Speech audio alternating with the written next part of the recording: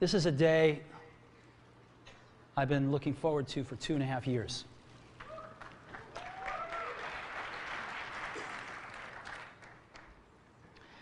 Every once in a while, a revolutionary product comes along that changes everything. And Apple has been, well, first of all, one's very fortunate if you get to work on just one of these in your career. Apple's been very fortunate. It's been able to introduce a few of these into the world.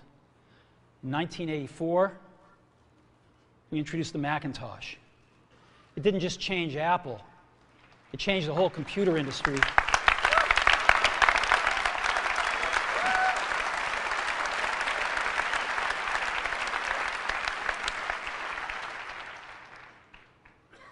In 2001, we introduced the first iPod. And it didn't just it didn't just change the way we all listen to music. It changed the entire music industry. Well, today we're introducing three revolutionary products of this class. The first one is a widescreen iPod with touch controls.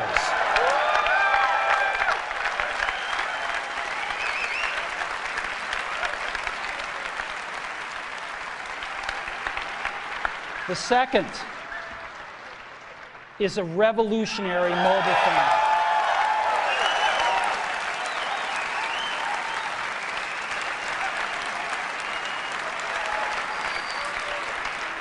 And the third is a breakthrough internet communications device. So, three things a widescreen iPod with touch controls, a revolutionary mobile phone, and a breakthrough internet communications device. An iPod, a phone, and an internet communicator. An iPod, a phone. Are you getting it? These are not three separate devices. This is one device. And we are calling it iPhone. Today, today Apple is going to reinvent the phone. And here it is.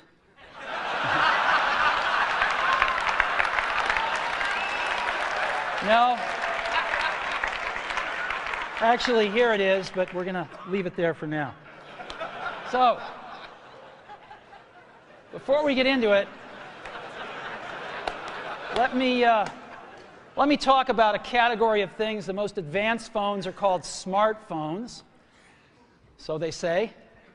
And uh, they typically combine a phone plus some email capability, plus they say it's the internet, sort of the baby internet in the one device, and they all have these plastic little keyboards on them. Uh, and uh, the problem is that they're not so smart and they're not so easy to use. So if you kind of make a you know, business school 101 graph of the smart axis and the easy to use axis, phones, regular cell phones are kind of right there. They're not so smart and they're you know, not so easy to use. Um, but smartphones are definitely a little smarter, but they actually are harder to use. They're really complicated. Just for the basic stuff, people have a hard time figuring out how to use them. Well, we don't want to do either one of these things. What we want to do is make a leapfrog product that is way smarter than any mobile device has ever been and super easy to use. This is what iPhone is. Okay? So, we're going to reinvent the phone. Now, we're going to start with a revolutionary user interface is the result of years of research and development. And of course, it's an interplay of hardware and software. Now, why do we need a revolutionary user interface? I mean, here's four smartphones, right? Motorola Q, the BlackBerry, Palm Treo, Nokia E62, the usual suspects.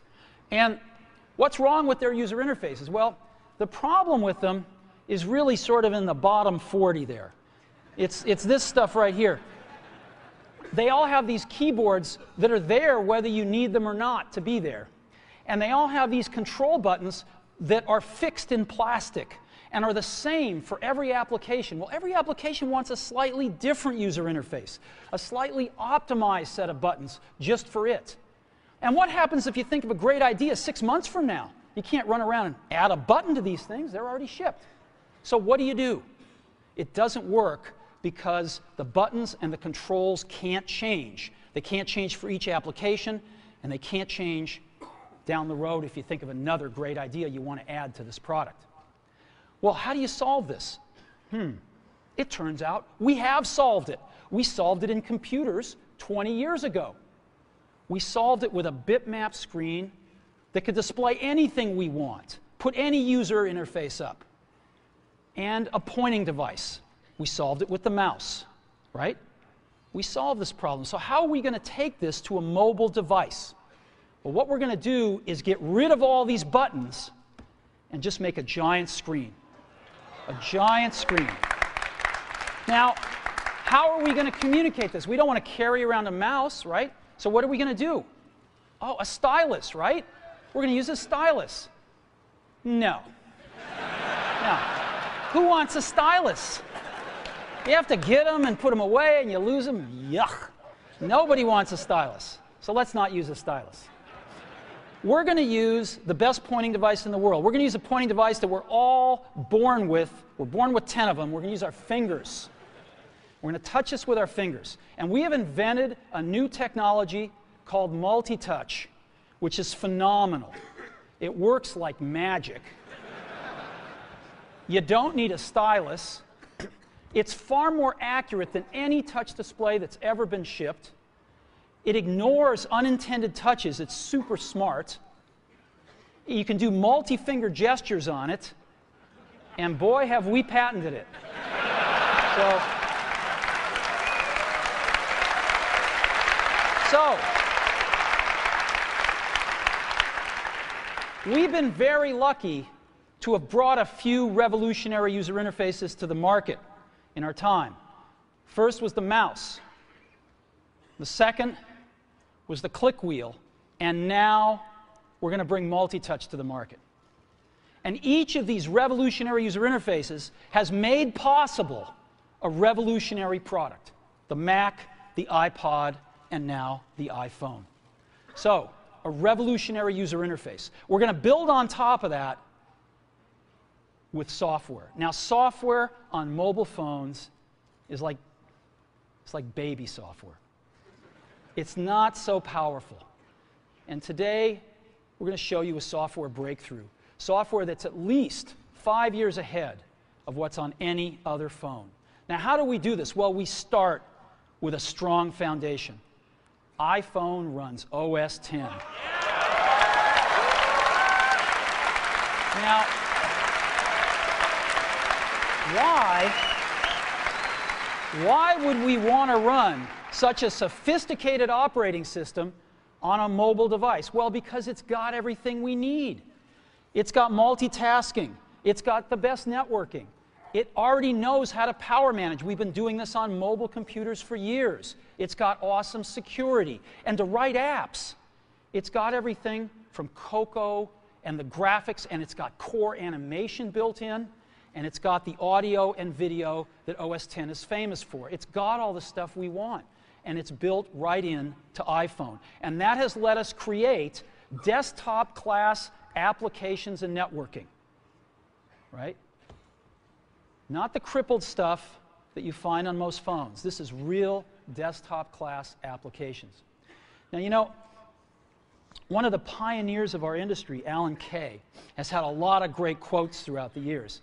And I ran across one of them recently that explains how we look at this, explains why we go about doing things the way we do, because we love software.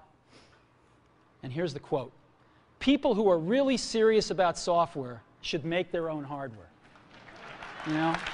Alan said this 30 years ago, and this is how we feel about it. And so we're bringing breakthrough software to a mobile device for the first time. It's five years ahead of anything on any other phone. The second thing we're doing is we're learning from the iPod, syncing with iTunes. You know, we're going to ship our 100 millionth iPod this year, and that's a, tens of millions of people that know how to sync these devices with their PCs or Mac and sync all of their media right onto their iPod, right? So you just drop your iPod in, and it automatically syncs. You're going to do the same thing with iPhone. It automatically syncs to your PC or Mac right through iTunes. And iTunes is going to sync all your media onto your iPhone your music, your audiobooks, podcasts, movies, TV shows, music videos, but it also syncs a ton of data. Your contacts, your calendars, and your photos, which you can get on your iPod today, your notes, your, your bookmarks from your web browser, your email accounts, your whole email setup, all that stuff can be moved over to iPhone completely automatically. It's really nice. And we do it, we do it through iTunes. Again, you go to iTunes and you set it up just like you'd set up an iPod or an Apple TV. And you set up what you want synced to your iPhone. And it's just like an iPod charge and sync. So, sync with iTunes. Third thing I want to talk about a little is design. We've designed something wonderful for your hand. Just wonderful. And this is what it looks like. Got a three and a half inch screen on it. It's really big. And it's the highest resolution screen we've ever shipped. It's 160 pixels per inch. Highest we've ever shipped. It's gorgeous. And on the front, there's only one button down there. We call it the home button. It takes you home from wherever you are. And that's it. Let's take a look at the side. It's really thin. It's thinner than any smartphone out there at 11.6 millimeters, thinner than the Q, thinner than the Blackjack, thinner than all of them. It's really nice. And we got some controls on the side. We got a little switch for ring and silent. We've got a volume up and down control. Let's look at the back. On the back, the biggest thing of note is we got a 2 megapixel camera built right in. The other side, and we're back on the front. So let's take a look at the top now. We've got a headset jack, three and a half millimeter. All your iPod headphones fit right in. We've got a place, a little tray for your SIM card. And we've got one switch for sleep and wake. Just push it to go to sleep, push it to wake up. Let's take a look at the bottom. We've got a speaker, we've got a microphone, and we've got our 30 pin iPod connector. So that's the bottom. Now, we've also got some stuff you can't see. We've got three really advanced sensors built into this phone. The first one is a proximity sensor. It senses when physical objects get close. So when you bring iPhone up to your ear to take a phone call, it turns off the display and it turns off the touch sensor instantly. Well, why do you want to do that? Well, one, to save battery, but two, so you don't get spurious inputs from your face into the touchscreen. Just automatically turns them off, take it away, boom, it's back on. So it's got a proximity sensor built in. It's got an ambient light sensor as well. We sense the ambient lighting conditions and adjust the brightness of the display to match the ambient lighting conditions. Again, better user experience saves power. And the third thing we've got is an accelerometer so that we can tell when you switch from portrait to landscape.